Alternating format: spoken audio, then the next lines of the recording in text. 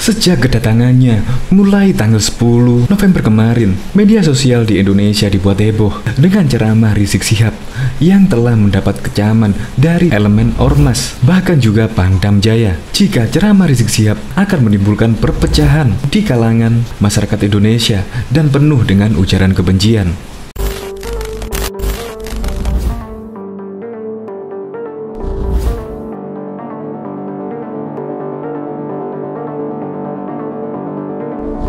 Saya tidak akan segan-segan untuk menindak dengan keras yang coba-coba mengganggu persatuan dan kesatuan. Jangan merasa bahwa dia mewakili umat Islam. Tidak, tidak semua. Lebih banyak umat Islam yang baik, yang berkatanya juga baik, yang berucapnya juga baik, dan bertingkah lakunya juga baik.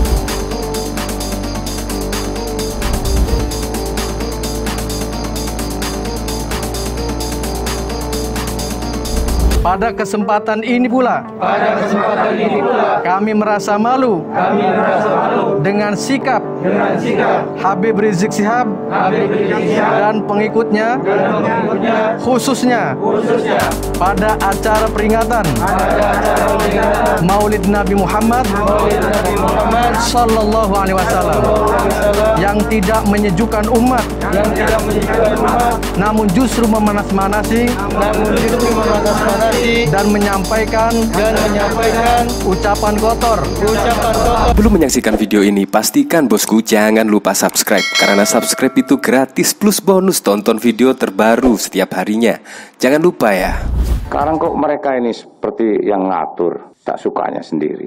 Ingat ya, saya katakan itu perintah saya. Dan ini akan saya bersihkan semua. Akan saya bersihkan. Tidak ada itu baleho-baleho yang mengajak revolusi dan segala macam. Buntut panjang ceramah Rizik Sihab Sejumlah tokoh geram terhadap ceramah pemimpin FPI Rizik Sihab yang dinilai dapat memicu kebencian dan melahirkan permusuhan di tengah masyarakat. Mantan Ketua Mahkamah Konstitusi Jim Lee lewat akun Twitternya menyatakan ceramah Rizik adalah contoh ceramah yang berisi kebencian dan permusuhan. Ia pun berharap aparat dapat bertindak tegas terhadap ceramah Rizik yang sedemikian rupa.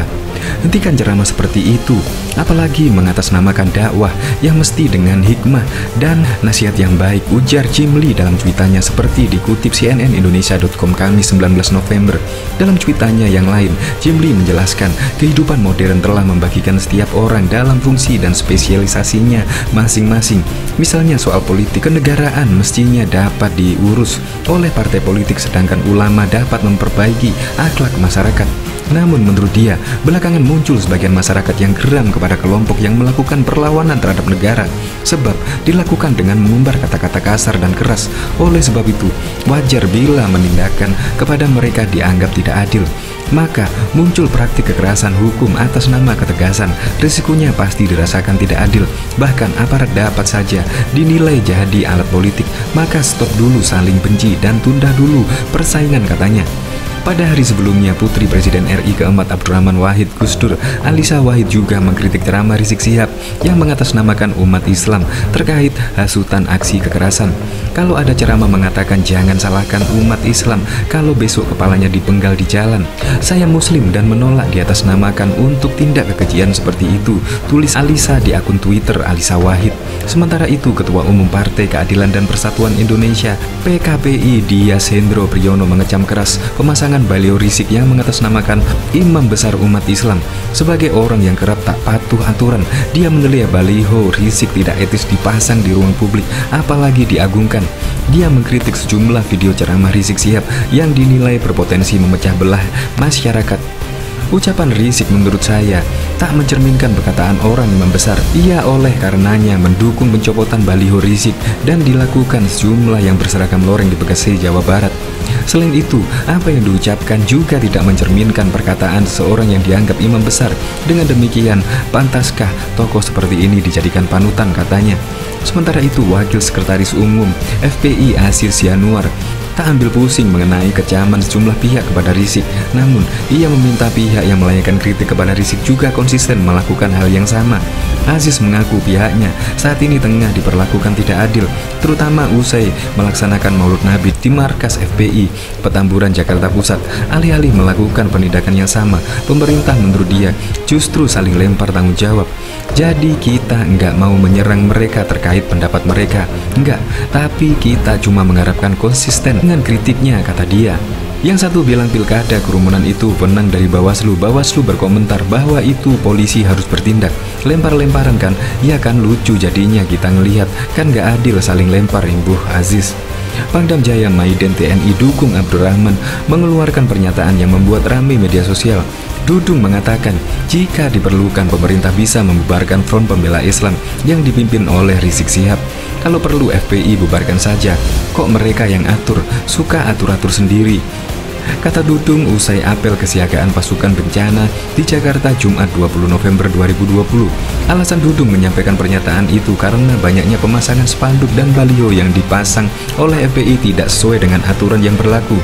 Bahkan, Dudung tidak memerintahkan anak buahnya untuk menertibkan spanduk-spanduk itu. Itu perintah saya.